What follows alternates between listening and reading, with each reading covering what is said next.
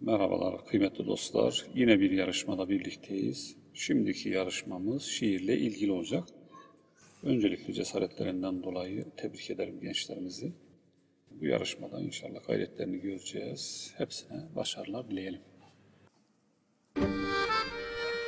Ey gönül, dünya Sultan Süleyman'a kalmıyor. Hiç kimsenin ilelebet sazı çalmıyor.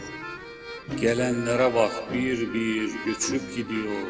Ardından göz ağlıyor, gönül ağlıyor. Neler olup neler bitiyor dünyada.